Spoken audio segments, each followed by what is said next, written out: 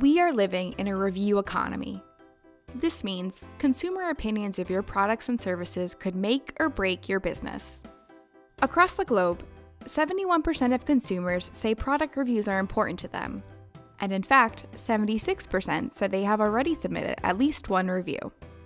What's more, reviews are ranked as the third most important purchasing factor to consumers worldwide. Yet only 15% of companies say they have a strategy in place to manage their incoming reviews.